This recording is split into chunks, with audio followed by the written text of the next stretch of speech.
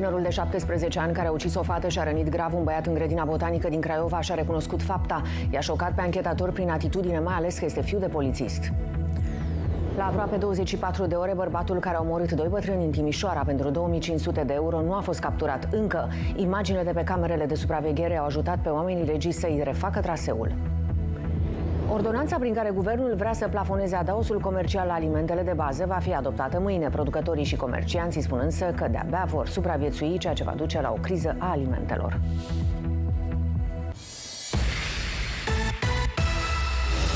Andreea Berecleanu vă prezintă Focus. Doamnelor și domnilor, bună seara! Adolescentul de 17 ani care a ucis o fată în grădina botanică din Craiova și a rănit foarte grav un băiat și-a recunoscut fapta. Momentul în care a fost capturat a fost surprins de camerele de supraveghere. Oamenii legii sunt șocați de modul în care a atacat și de atitudinea lui. În timpul audierilor a fost sigur pe el și numai cu zâmbetul pe buze. De altfel, și înainte și după crimă, el s-a întâlnit și a vorbit cu polițiștii locali și a reușit să-și păstreze cumpătul fără să se dea de gol. Criminalul, fiu de polițist de altfel, a fost reținut pentru 24 de ore și va fi prezentat instanței cu propunerea de arestare preventivă. Atenție, urmează informații care vă pot afecta emoțional.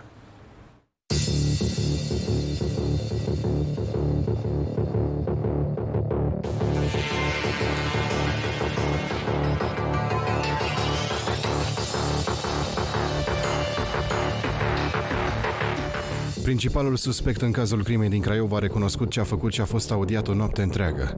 Băiatul de 17 ani le-a spus anchetatorilor că se plimba prin grădina botanică din Craiova când s-a întâlnit întâmplător cu victimele.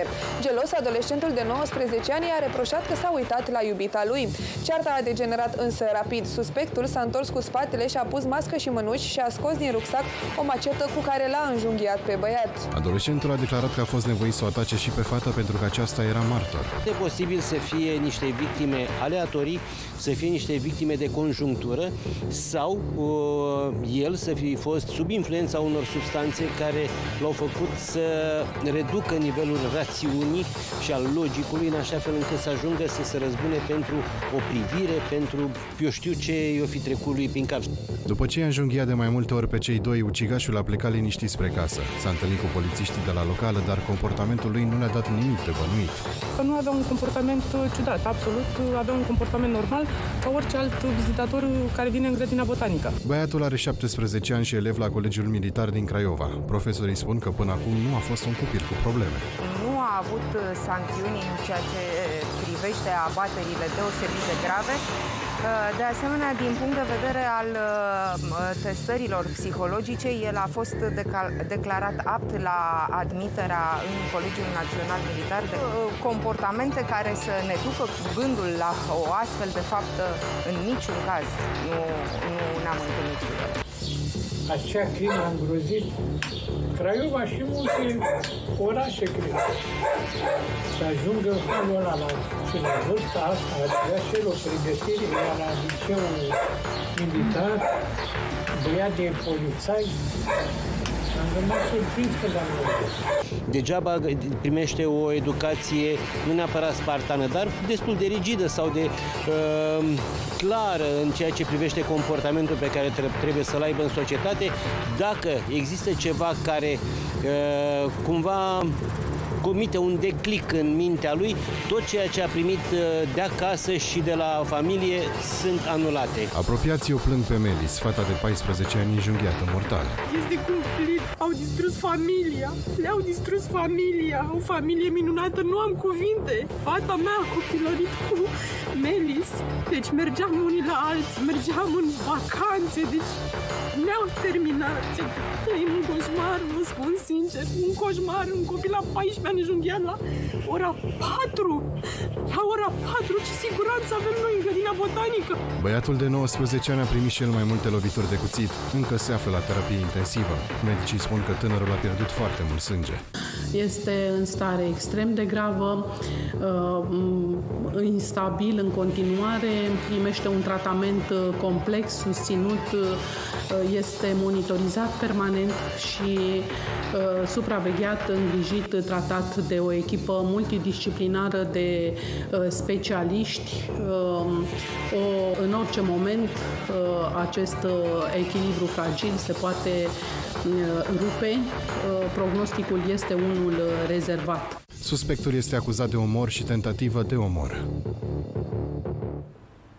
La doar două săptămâni după ce a fost eliberat din arestul preventiv, Ciprian Pian, liderul clanului Duduianu, ajunge din nou după gratic. Bărbatul a fost reținut acum pentru că și-ar fi sequestrat iubita în porbagajul mașinii. Magistrații au decis că își va petrece următoarele 30 de zile în arest.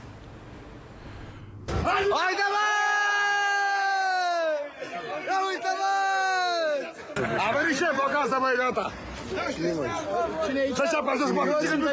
Sunt imagini de la începutul lunii când Laurențiu Duduianu, zis Ciprian Pian, a fost întâmpinat de rude la ieșirea din închisoare. Șase luni a stat în arest preventiv în urma unor acuzații revoltătoare, pornografie infantilă, agresiune sexuală și corupere sexuală. Pian și-ar fi înregistrat chiar și băiețelul de trei ani în ipostaze indecente. Videoclipul nu a fost încărcat pe internet, dar a fost văzut de fosta soție, care a mers la poliție și a depus plângere. Pian ar fi explicat că gesturile sexuale sunt semn al maturității și masculinității comunității. Poliția!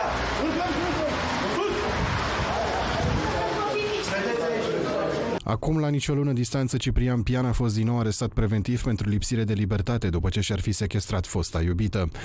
Un bărbat în vârstă de 34 de ani ar fi introdus în părbagajul autoturismului o femeie de 32 de ani, împotriva voinței sale, deplasându-se într-o direcție necunoscută.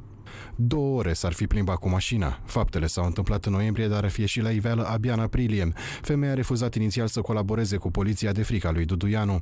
În ultimii ani, viața acestuia s-a împărțit în luni întregi petrecute după gratis și scurte perioade de libertate, în care a comis alte fapte pentru care a ajuns din nou la închisoare.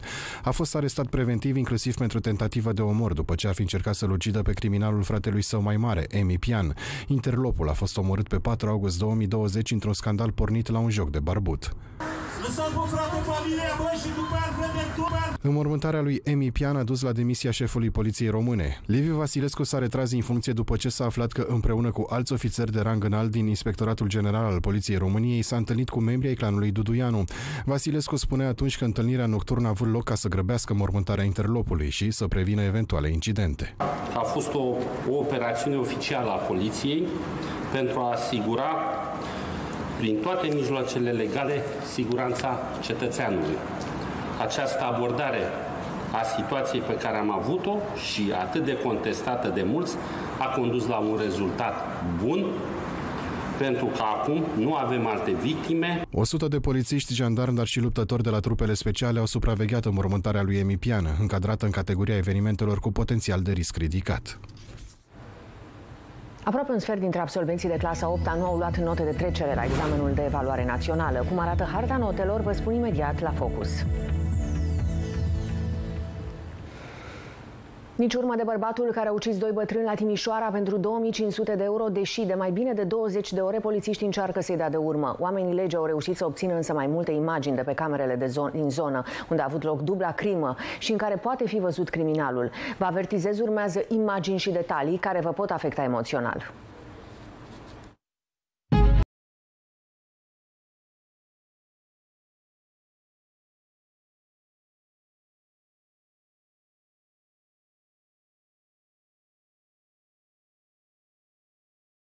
Otto și Mariana Roher sunt cele două victime. Bătrânii în vârstă de 75 și 78 de ani se aflau în apartamentul lor din centrul Timișoarei și vorbeau la telefon cu un nepot din Germania. Au mai apucat doar să-i spună că cineva intra peste ei și că vrea să-i omoare. Apoi s-a lăsat liniștea. O suna cineva la ușă, și au deschis ușa fără să se uite, vorbind la telefon și era imediat eu și atacat-o. Timp de câteva minute din apartament nu s-a auzit nicio zgomot, spun vecinii. Primul care a ajuns acolo, alertat de ruda din Germania, a fost un alt nepot care locuiește în Timișoara. Apoi, pe scară, s-au auzit urlete și zgomote puternice. Nepotul celor două victime le-a povestit polițiștilor că în momentul în care a ajuns la apartament și a dat seama că atacatorul este încă înăuntru, a încercat să-l oprească, între cei doi a izbucnit un conflict, s-au împins, dar agresorul a reușit în cele din urmă să fugă. Imediat s-a dat alarma, iar mai multe echipaje de poliție și ambulanțe au ajuns la locul tragediei, însă medicii nu au mai putut face nimic pentru cei doi bătrâni. Înjunghiați cu un cuțit de mai multe ori, au murit pe loc. Criminaliștii au izolat zona și au început cercetările. Polițiștii au ridicat imagine de pe mai multe camere de supraveghere și încearcă să reconstituie traseul atacatorului. În primele imagini surprinse cu aproape jumătate de oră înainte atacului, se vede cum suspectul înconjoară clădirea. Merge încet, relaxat, iar polițiștii cred că a cercetat prima dată terenul ca să vadă cum va proceda și pe unde va fugi, ceea ce arată premeditarea. După aproape 30 de minute, aceleași camere îl surprind în timp ce aleargă. Iese din clădire și fuge la un loc de joacă din apropiere. De altfel, acolo oamenii legii au găsit o mănușă însângerată lângă o bancă. Ei au făcut publice și semnalmentele criminalului și cer ajutorul populației ca să-l prindă. Potrivit unor surse, acesta ar fi luat din casa bătrânilor 12.000 de lei. Femeia ucisă era administratora blocului și abia ce încasase întreținerea de la locatari. Ea era o doamnă extraordinară. Știu că era mai bolnovicioasă mai, dar încă era ok. Adică știu că ea venea și ne strângea chiria pe... Că erau niște persoane care nu aveau treabă cu nimeni, își vedeau de treaba lor. Posibil ca cineva să-i fie informat Uh, erau cunoscuți ca niște oameni care cheltuiau puțin în general, dar aveau bani, aveau, așa am înțeles, nepoți în străinătate care îi mai ajutau avea un apartament deosebit, un apartament uh, frumos. Specialiștii nu exclud varianta unui atac premeditat cu scopul de a obține bani pentru droguri. Am convingerea că vom afla, după ce va fi prins, și asta nu mai durează mult, uh, vom afla că omul acesta era disperat să-și facă rost de bani pentru a-și procura doza. Uh, e disperat, adrenalina este la maximum și face gesturi de o duritate extraordinară pentru a scăpa. Necropsia va stabili cu exactitate cauza morții. Cuțitul, arma cu care au fost uciși cei doi bătrâni, nu a fost găsit până acum. Ancheta s-a extins și în județele învecinate. Doi tineri de 26 și 23 de ani au ajuns în stare gravă la spital după ce s-au electrocutat în timp ce își făceau un selfie pe un vagon de marfă. Unul dintre ei are arsuri grave pe aproape toată suprafața corpului. Această modă face însă victime și printre cei mai maturi. Un bărbat de 64 de ani a murit în timp ce se pozea la cota 1400. El a alunecat și a căzut într-o râpă. Vă avertizez, urmează imagini și detalii care vă pot afecta emoțional. Doi studenți s-au dus la gara din Craiova cu gândul să-și facă poze. Au căutat o zonă mai retrasă, așa că au ajuns lângă vagoanele de marfă. S-au urcat pe unul dintre ele și au fost electrocutați pe loc. Echipajul Zmur, care a ajuns la liniile ferate, i-a găsit în stare critică. Arsuri pe 70% suprafață corporală și cel de-al doilea 20% suprafață corporală. Este o arsură prin uh, arc electric cu voltaj înalt uh, cel cu suprafață mare, arsă, uh, se află internat în clinica de terapie intensivă pentru chirurgie plastică în spitalul nostru. S-au făcut toate diligențele pentru a fi transferat la un spital uh, de mare arș din străinătate. Doi tineri, unul de 26 de ani cetățean sirian, iar al doilea de 23 de ani cetățean francez, ambii posesori de permis de ședere studenți în Craiova. Polițiștii au deschis dosar penal pentru vătămare corporală din culpă. Tot o fotografie făcută însă pe munte la cota 1400 i-a fost fatală unui milionar român. Marius Ivan a murit după ce a căzut într-o rupă de 50 de metri la Sinai atunci când încerca să facă o poză. Originar din Craiova, Marius Ivan era un om extrem de cunoscut în lumea imobiliarelor și este cel care în anii 90 a finanțat echipa de basket a Craiovei. Avea 64 de ani.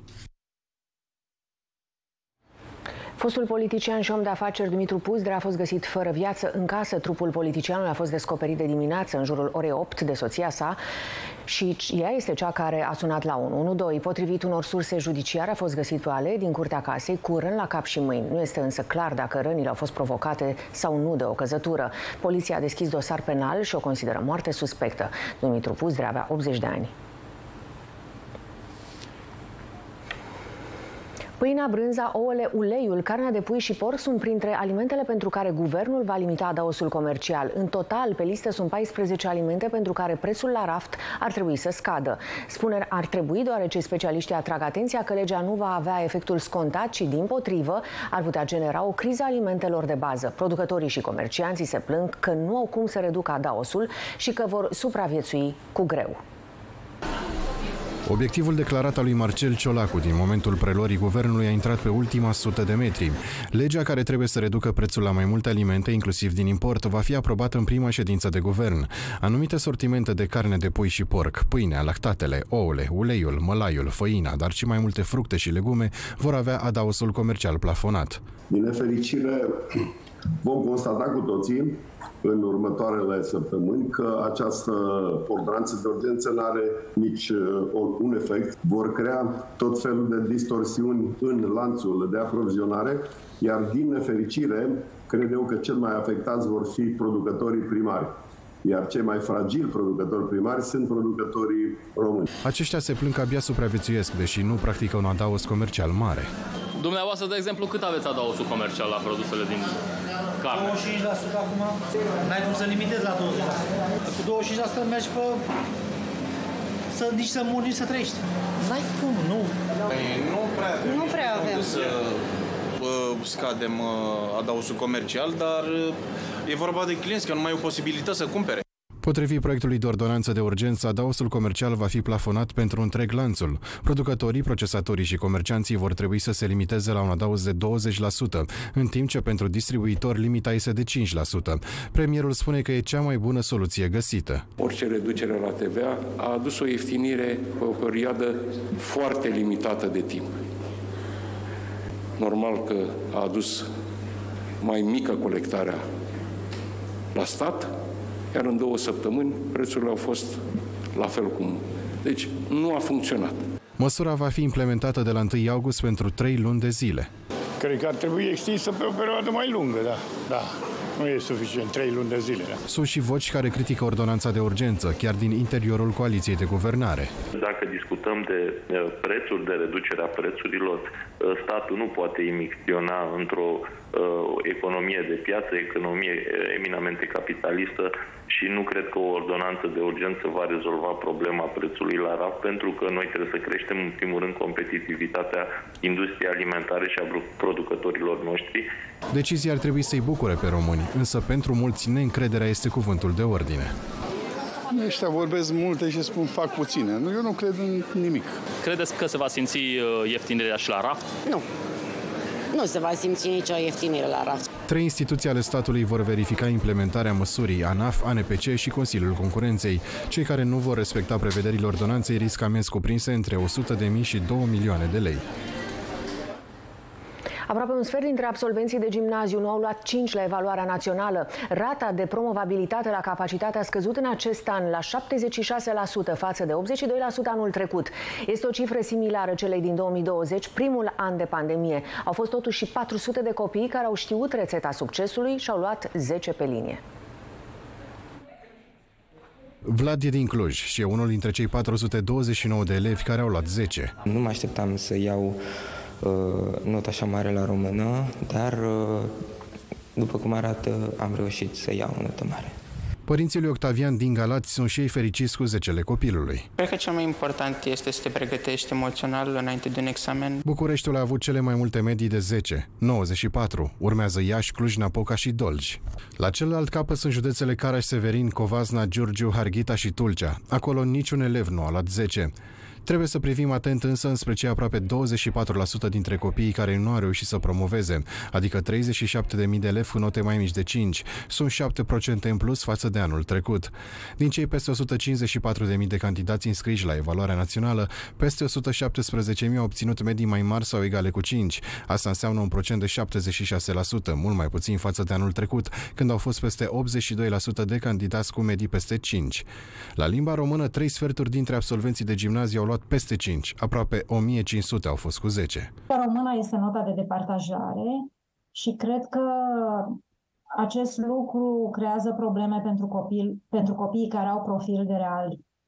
Pentru că chiar și la medii egale, un 10 la matematică poate să depindă de nota nouă la română, de exemplu. Predarea și lucratul la clasă nu s-a transformat pe măsura modului în care s-au transformat subiectele. La matematică, procentul elevilor cu medii peste 5 este de 75%. Aici, peste 3000 de candidați au luat nota 10.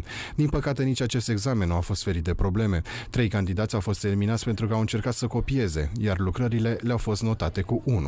Și absolvenții de liceu sunt fericiți. S-a încheiat și bacalaureatul cu proba la alegerea profilului. Geografia și logică au fost printre materiile preferate. A fost foarte ușor.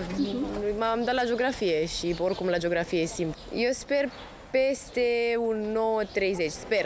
Pot să vă spun că a fost un uh, bac foarte reușit uh, din privința mea, din perspectiva mea, pentru că sunt un geograf de excepție. Dăm înainte că eu zic că luăm bacul toți. A fost ceva foarte ușor.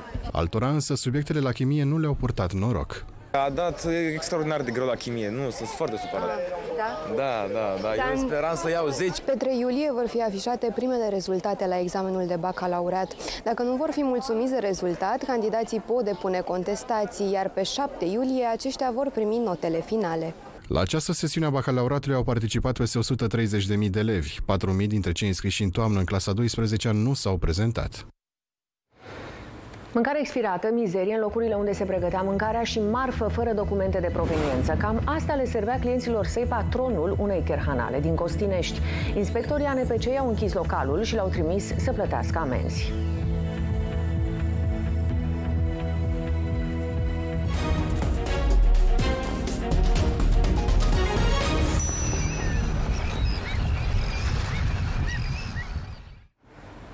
S-a terminat bacul, a venit de adevărat la vacanța, spun absolvenții de liceu care astăzi la prânz au fugit spre Gării cu o destinație sigură în minte, Vama Veche. Cristi Cosmaciuc, reporter Focus, îi așteaptă pe o vreme ce e drept un pic mai rea astăzi în gara Mangalia, căci ce contează un pic de ploaie când s-a terminat liceul, nu-i așa? Bună seara, Cristi!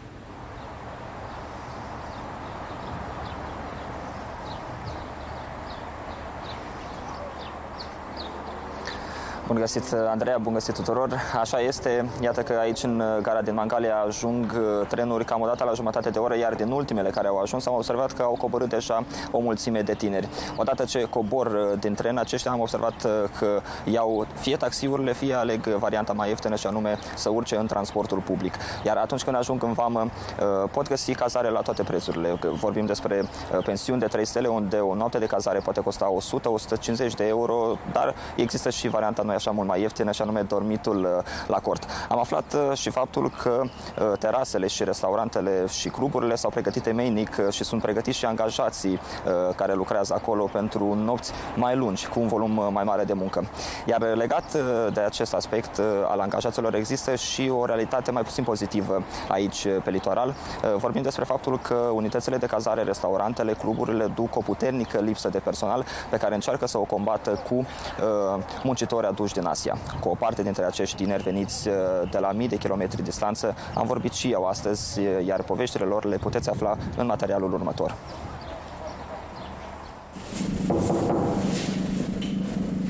Housekeeping.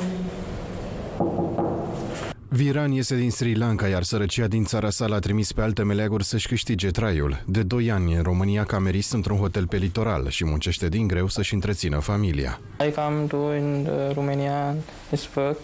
Uh, my uh, country is not good now. Seven day I cry, but you know uh, my mother and sister Muncitorii asiatici câștigă la noi cam 3.000 de lei lunar, însă au cazarea și mesele asigurate. Astfel, sumele trimise acasă, chiar dacă par mici pentru noi, au valoare de 10 de ori mai mare în mâinile părinților și fraților din Sri Lanka. It's more than enough. Then I will uh, get job in Sri Lanka. I little bit is not enough, too much is not enough. But it's, here is too much. It's enough more than. I know how to do welcome, bună ziua, bună dimineața, and la revedere. Mm, so, thanks. Mulțumesc. Mersi mult. tu plăcere. தலையை கொஞ்சம் வரியா எழுதி சொல்றேன் சரி தலையை கொஞ்சம் வரியா எழுதி சொல்றேன் முதலாவது நீ தலையை கொஞ்சம் வரியா எழுன்னு முதலாவது சொல்றேன் Mm, vele, vele. Colegii și patronul îi apreciază enorm. Sunt liniștiți, cu minți și muncesc fără oprire. S-au acomodat în România și și-au făcut prieteni și încearcă să profite la maximum de timpul liber. My working start uh, 7.30 uh, morning. Uh, after uh, 4.30 is finished. After we are enjoying outside, I have uh, many club and uh, uh, shops and think about the clubs the parties here yeah very good and uh, lovely people in here uh, very good Viran și Dașin sunt doi dintre zecile de angajați asiatici de pe litoral. Patronul lor spune că vrea să-i păstreze definitiv, să le facă locuințe și chiar să-i ajute să-și găsească jumătatea în România. La ora asta am în jur de 100, 150, nu mai știu cifra exactă pentru că tot timpul angajăm de muncitori străini. Eu bănuiesc că în următorii 5 ani forța de muncă la noi, cel puțin în turism, 80% va fi forță de muncă din străinătate. În România muncesc în acest moment peste 100.000 de asiatici, cei mai mulți din Bangladesh, Nepal, Pakistan și Sri Lanka. Patronul unei kerhanale din Costinești a fost amendat cu o sumă record, iar localul urmează să fie închis de protecția consumatorului. Inspectorii au găsit pește stricat și mizerie de nedescris în bucătărie și în toate locurile în care se gătea mâncarea pentru turiști. 20.000 de lei a fost amenda. Vă avertizez, urmează imagini care vă pot afecta emoțional. Uitați-vă cum arată peștele ăsta. Da, astăzi este luni de curățenie, asta vreau Uitați-vă cum miroase. Luați-l să vedeți cum miroase, că e alterat. Deci e pește alterat ăsta. Inspectorii OPC s-au luat cu mâinile de cap când au verificat peștele depozitat în frigidere. Asta e mămăliga aici. Deci astea toate sunt fără elemente de identificat. Și acesta ce este? Usturoi sau ce este? Da, usturoi, da. Păi și de când este? Aici ce avem? Calcan. Calcanul e din 4 aprilie. Păi și etichete la el? Păi n-am avut decât o singură cap. Și în sacii aceștia? Calcan. Calcan făcut uh, porționat. Haideți să deschidem în fungă. Frigiderele și mobila de bucătărie erau murdare, iar gândacii se plimbau în voie. Uitați-vă cum arată chederele. Să vedem aici. Aici miroase ce? La finalul controlului, protecția consumatorului a închis restaurantul. A fost oprită temporar prestarea de servicii, se va face propunere de suspendare a activității pentru o perioadă de până la șase luni. A confiscat întreaga cantitate de pește. În plus, pentru că peștele nu avea factură și niciun document de proveniență, a fost anunțată și poliția economică.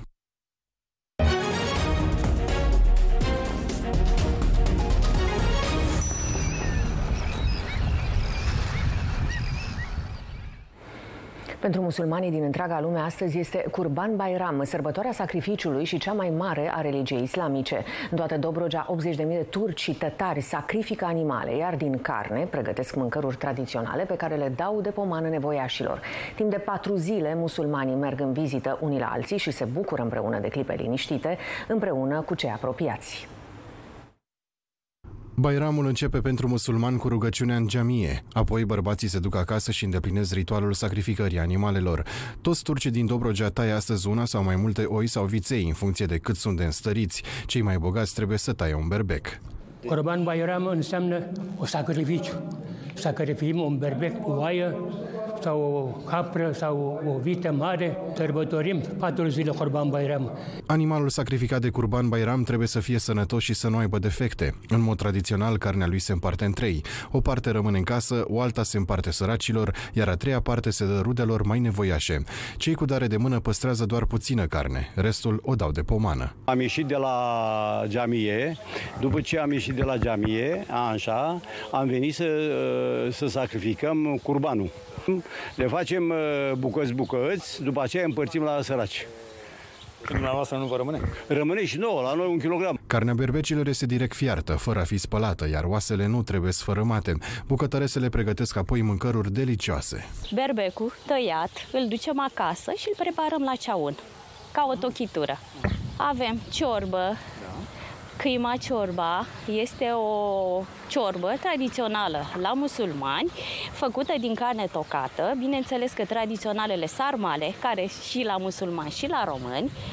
Gospodinele noastre se întrec în, în primul rând în preparate specifice pe bază de, de făină, cocături, plăcinte. Cele mai bune sunt baclavale tradiționale făcute în casă. Când se întâlnesc de Curban Bairam, musulmanii își urează sărbători fericite. Își fac vizite, iar copiii primesc dulciuri, cadouri și bani. Patru zile și patru nopți țin mesele întinse la musulmani în această perioadă. Este o sărbătoare a regăsirii, a bucuriei și a întregirii familiei în jurul acestei sărbători. În lume, Bairamul este sărbătorit de peste 2 miliarde de musulmani, cei mai mulți dintre ei din Orientul Mijlociu. نسأل الله يا رب أنه يتمم الفرحة على كل المسلمين ويجمع شمل الأمة الإسلامية Curban Bairam se sărbătorește în ultima lună din calendarul musulman și are loc în ultimele zile ale pelerinajului de la Mecca, în Arabia Saudită, unde participă aproape 2 milioane de oameni. يكون عندك امل اذا ما فيش امل الناس بتفنى نحن عايشين على الامل كل يوم كل ما اليوم بيعدي احسن من اليوم اللي قبله كل يوم نحن بنتامل اليوم بيجي احسن من اليوم اللي قبله وان شاء الله خير نحن يعني Sărbătoarea sacrificiului împreună cu Ramadanul sunt cele mai importante sărbători ale religiei islamice. Numărul victimelor în urma atacului de la Kramatorsk a ajuns la 11. Alți 60 de oameni au fost răniți, iar alte câteva zeci sunt dați dispăruți. Trei jurnaliști colombieni, printre care și celebrul scriitor Hector Abad, au fost răniți ușor. Președintele Zelenski a catalogat atacul drept act terorist.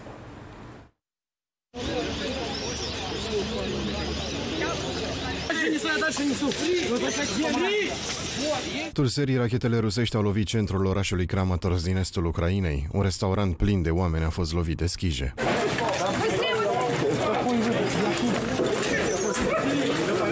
Printre victime se numără două surori gemene de 14 ani.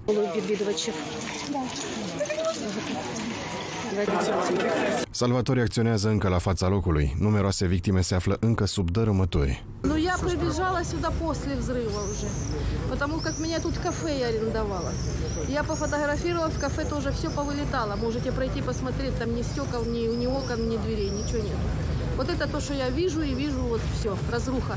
Вот это я вижу, это страх, ужас, 21 век на дворе. Это, это я не знаю, как передать.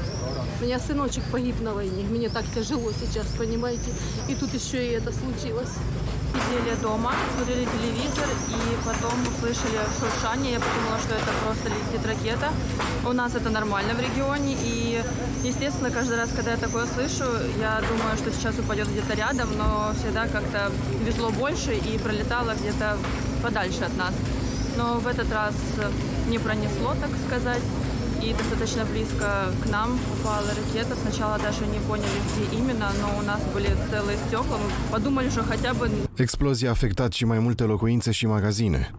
И эти разрушения страшно посмотреть вживую, потому что на фотографиях и видео это все вообще не передает. Все, что показывают по телевизору, это вообще не сравнится с тем, что оно на самом деле вживую. Если так вот посмотреть, то это мой город, в котором я... Printre răniți se numără scriitorul colombian Hector Abad. Жорстоко обстріляли і Краматорськ, ракети С-300. Троє людей загинуло, і серед них дитина. Мої співчуття рідним та близьким. Станом на цю годину більше 40 людей поранено. Усім надається допомога.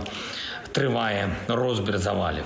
Кожен такий прояв терору знову і знов доводить і нам, і усьому світу, що Росія заслуговує лише на одне за наслідками усього, що вона наробила поразку та трибунал, справедливі та законні суди проти усіх російських вбивць і терористів. Kramatorsk este cel mai mare oraș controlat de Kiev din regiunea Donetsk. În aprilie, un atac rusesc asupra gării din localitate s-a soldat cu 61 de morți și peste 160 de răniți. Între timp, SUA a anunțat un nou pachet de ajutoare în valoare de 500 de milioane de dolari.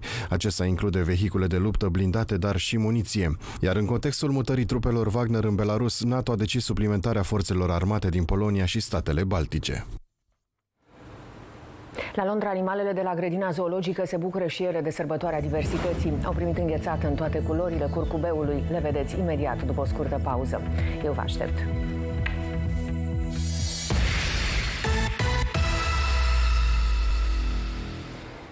Animalele de la grădina zoologică din Londra au avut parte de un tratament special înainte de ziua diversității, care se sărbătorește pe 30 iunie.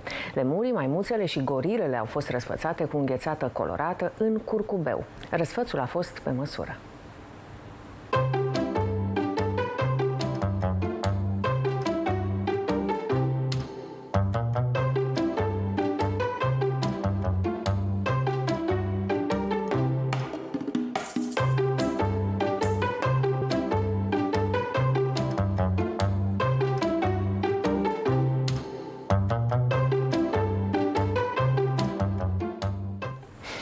Mergem acum la colega mea, Georgia Pietranu, ca să vedem uh, cum va fi vremea. Georgia, bună seara!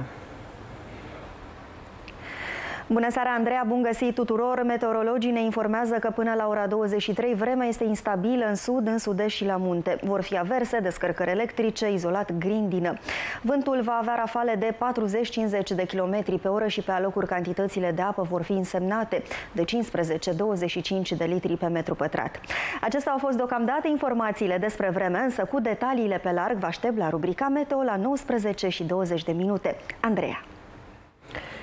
Georgia, mulțumesc, doamnelor și domnilor. Focus se încheie aici. Știrile noastre le puteți vedea și pe site-ul primanews.ro. Imediat începe Cooking Show-ul Mama mea gătește mai bine, iar de la ora 20 cârcotașii sunt la datorie. Să aveți o seară frumoasă. Pe mâine!